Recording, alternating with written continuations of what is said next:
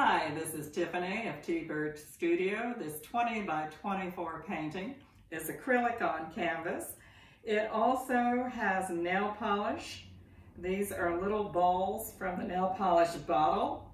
It is called Strings. I actually see a violin and some other playful instruments. Send me an email on my contact page at artworksbytiffany.com.